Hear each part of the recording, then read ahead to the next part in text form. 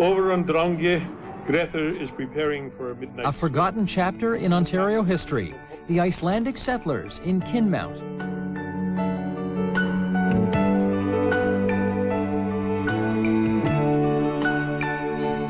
It's a hidden piece of Ontario history, the tragedy of the early Icelandic settlers. They arrived here in 1874 and went straight to Kinmount, a small town north of Peterborough. The 350 Icelanders were promised jobs with the railroad, but the work didn't last. Their living quarters were so inhospitable that many got sick. About 30 children died. Within a year, the remaining Icelanders packed up and moved to Gimli, Manitoba, leaving nothing but some unmarked graves behind. But today, their descendants are remembering them. A commemorative statue now sits on the banks of the Burnt River.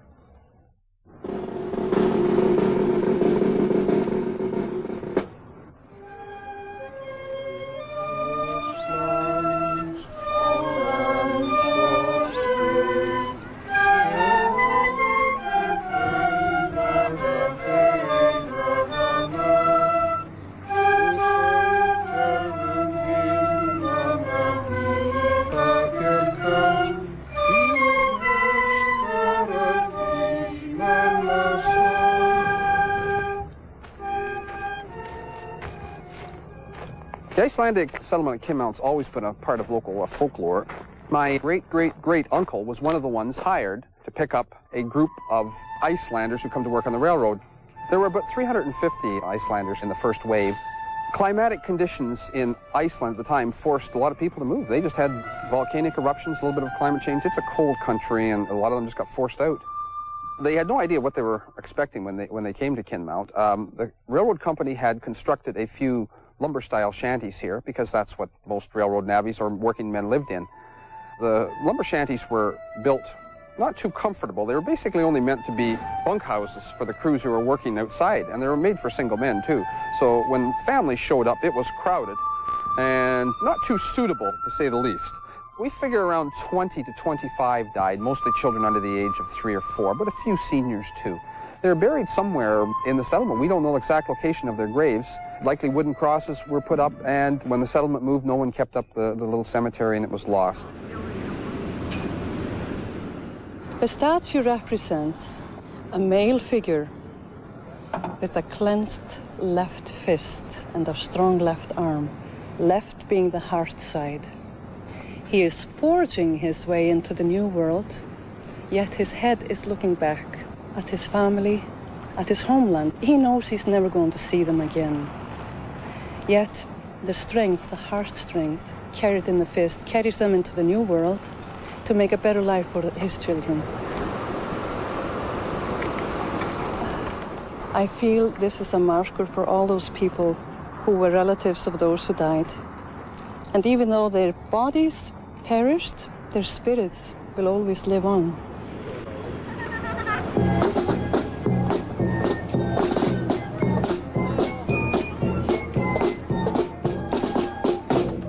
Welcome to Kinmount, everyone. It's a pleasure to see so many people out tonight. Some of our guests have come from very, very far away. On my far right, we have Gudrun Girgis, who's the lady behind this monument.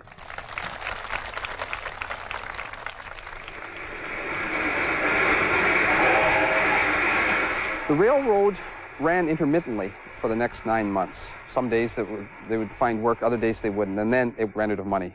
Suddenly they were penniless, jobs dried up, there was nothing.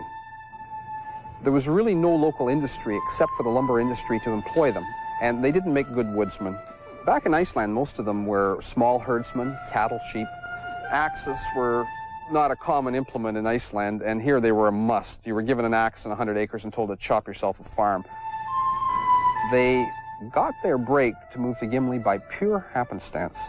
One day, a stagecoach was coming through Kinmount, and a young girl by the name of Carolyn Taylor happened to notice a couple of Icelandic women walking the main street of Kinmount. She asked the locals what was going on. They said, this is a colony that's moved. They gave them the whole story, and they're having a very tough time, and they're very unhappy. And she went and told her father, who was being a missionary, decided he would look in to see what he could do to help them. And eventually he secured a government grant and, and all the information and, and whatever they needed to go to Manitoba, and he actually led the way out there and stayed with them. There's a lot of emotion floating around here tonight. My heart feels full to bursting, and the strongest of these at this moment is humility. My connection to Kinmount here is that my ancestors came here in 1874 and suffered great hardship.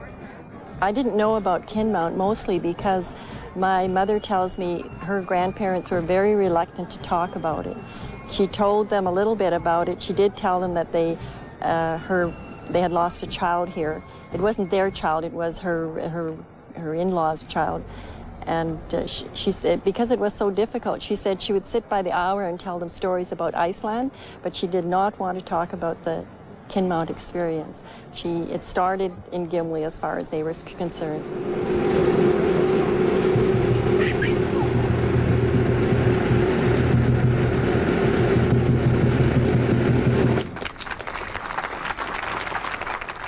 It's a very touching moment, being here in Kinmount, seeing the, the statue unveiled, the ceremony. I just feel that it vindicates uh, everything my people went through years ago. You never really know who you are until you know where you came from. And this is part of where we came from. This maybe gives us some of our resiliency, our bit of the Viking blood, I think. really.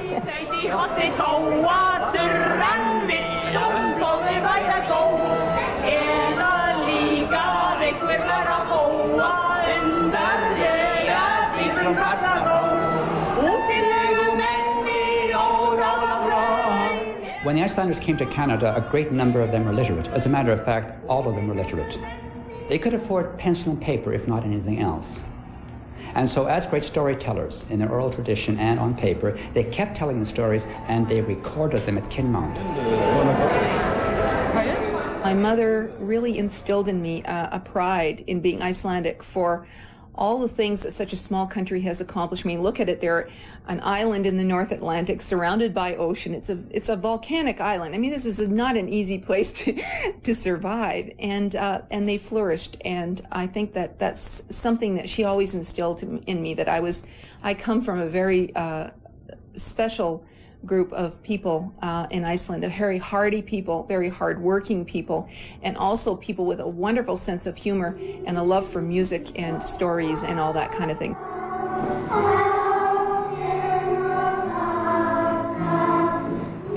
Over on Drangey, Grettir is preparing for a midnight swim. The passionate Bishop of Holar is awake half the night writing new psalms.